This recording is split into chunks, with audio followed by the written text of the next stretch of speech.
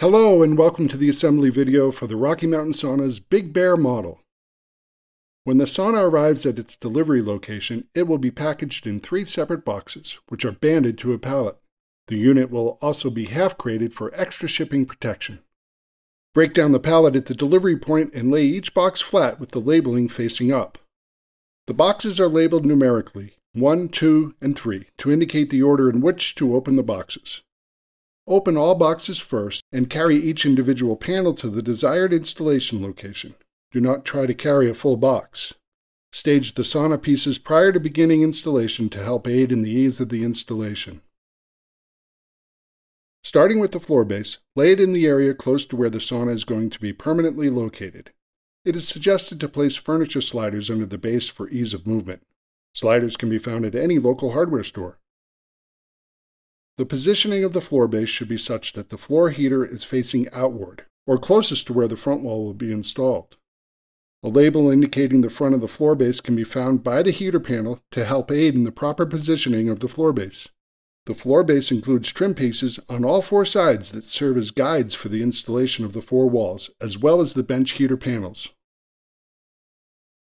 Starting with the back wall, Place the back wall on the floor base so the interior side of the wall sits flush with the floor trim. One person will need to balance the wall to hold it in place. The glass door on the front wall will be secured to keep the door from opening or closing during installation. Removal of the glass door support should be completed prior to the right wall being installed. To ensure the glass door does not open or shut slightly, carry this wall at a slight angle with the bottom of the wall slightly out compared to the top. Place the interior of the front wall on the floor base so it sits flush with the floor trim. One person will need to balance the front wall to hold it in place. The left side wall will be the third piece added. Using the floor trim as a guide, place the left side wall on the floor base. If needed, gently tap the left side wall in to ensure a snug fit. The left side wall includes trim pieces on both sides that will wrap around the back and the front walls. While one person supports the front and back walls, a second person inserts the installation bolts supplied in the accessories box into the pre-drilled holes on the left side wall, connecting it to the front and back walls. No certain order of installing the bolts is required. At this time, finger tighten the bolts. A screwdriver or hex driver may be used to tighten the bolts slightly, but leave some slack to facilitate in the completion of the installation. A final tightening of the installation bolts will be performed later. If needed, adjust the front and back walls slightly in order to get the pre-drilled holes to align correctly. Install the left bench heater panel by bringing it through the opening on the right side of the sauna. A label is located on top of the left bench heater panel indicating which side needs to be placed facing up. Place the bench heater panel between the guides found on the bottom of the front wall with the heater panel facing the door. Lastly, ensure the heater cord is placed behind the left bench heater panel. Install the right bench heater panel by bringing it through the opening on the right side of the sauna. A label is located on the top of the right bench heater panel indicating which side needs to be placed facing up. Place the right bench heater panel between the guides found on the bottom of the front wall with the heater panel facing the door. Lastly, ensure the heater cord is placed behind the left bench heater panel. Install the backbench heater panel by bringing it through the opening on the right side of the sauna. A label is located on the top of the backbench heater panel indicating which side needs to be placed facing up. First, place the backbench heater panel between the guides found on the bottom of the left side wall.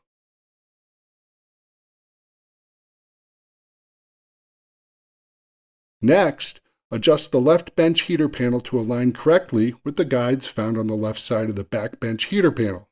Lastly, adjust the right bench heater panel to align correctly with the guides found on the right side of the back bench heater panel. Two power cords are located behind the back bench heater panel, one for the floor heater and one for the bench heater. Plug each cord into the receptacle on the back wall. Locate the pre-drilled hole in the bench seat. This hole indicates which side of the bench seat to place against the interior of the back wall.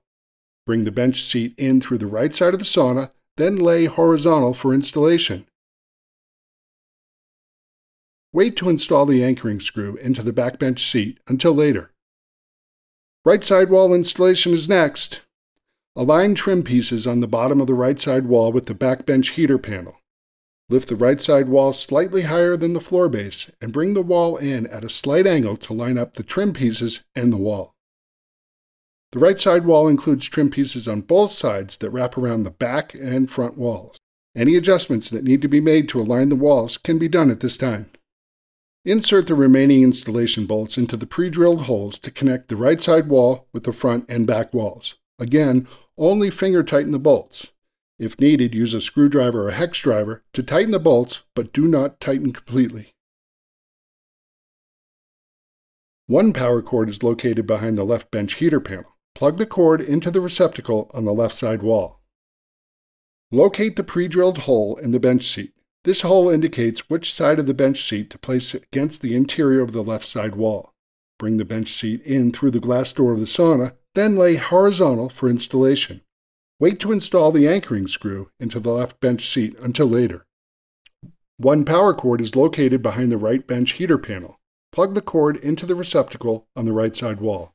Locate the pre-drilled hole in the bench seat. This hole indicates which side of the bench seat to place against the interior of the right side wall.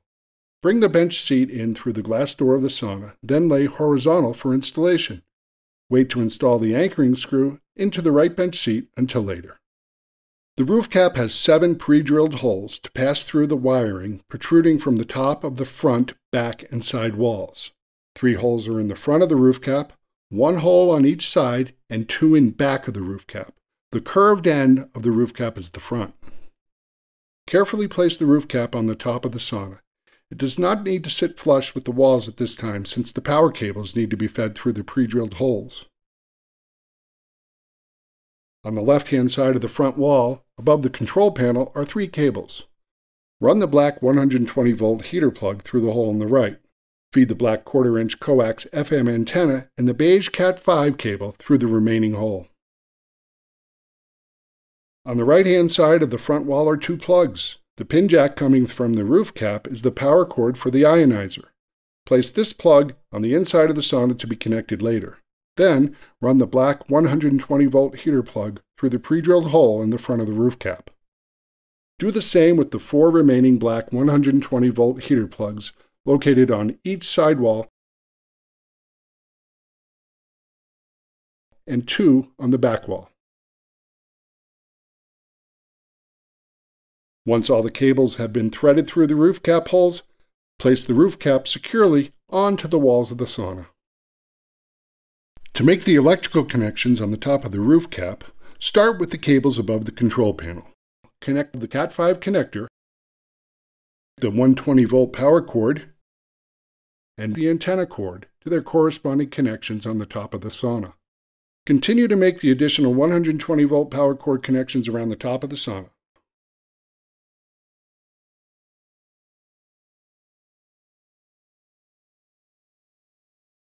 Install the cover provided onto the roof cap to keep the roof cap free of dust. Feed the power cord and the radio antenna through the hole provided to allow the cover to sit flush on the roof cap. If desired, screws are provided in the accessories box to attach the dust cover to the roof cap. Attachment is not required. Using a screwdriver or hex driver, perform a final tightening of the installation bolts on the left and right side walls. If the installation bolts do not tighten easily or interior trim pieces do not align correctly, adjust any walls as needed until all walls fit flush with one another.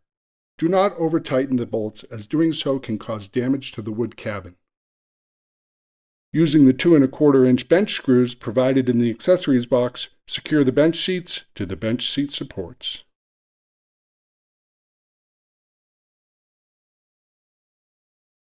The door handle will come packaged in a separate box, generally located in box 1.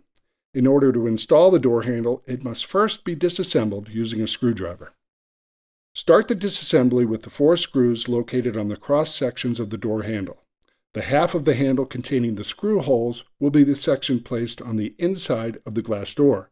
The other half of the handle will be placed on the outside of the glass door. Once the two halves have been separated, remove the two screws from the interior cross sections of the handle. Included with each of the two screws are a metal cone, two plastic washers, and two metal washers. Remove these items from the door handle, keeping all but one metal washer and one plastic washer together. Slide the screw with the threaded parts through the top hole found in the glass door from the inside of the door facing out. Add one plastic washer to the end of the screw now showing on the outside of the door. Place the remaining metal washer onto the screw with the flat side against the plastic washer.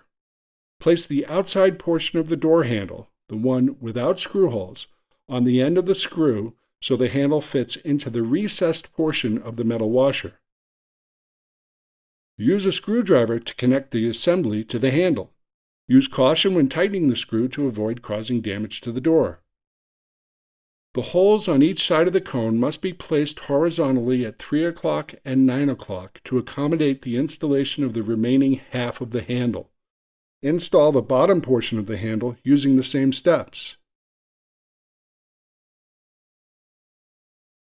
Place the inside portion of the door handle onto the upper and lower screw heads so that the handle fits into the recessed part of the metal washers.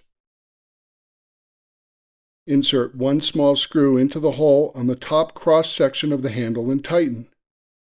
Repeat for the bottom cross section of the handle. Move to the inside of the handle and repeat for the next two screws. If an alignment issue with the screw holes is encountered, turning the handle 180 degrees will solve the issue. Installation of the optional accessories can be completed at this time. The accessories can be placed wherever desired or not used at all. Thank you for watching the installation video for the Rocky Mountain Sauna's Big Bear model. We look forward to assisting in your health and relaxation needs. For more information or to check out other models, please visit our website at rockymountainsaunas.com or call us at 888 358 1270.